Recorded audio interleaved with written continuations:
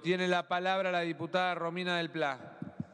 Gracias, presidente. En primer lugar, para aclarar y que queden las actas que todos los artículos eh, en particular los votamos en contra. Pero por otro lado, porque quiero reclamar el cese inmediato de la represión, la libertad de todos los detenidos y que se termine la cacería con motos y a los tiros en el barrio aledaño al predio de Guernica, que ha sido desalojado con un verdadero ejército. Muchas gracias.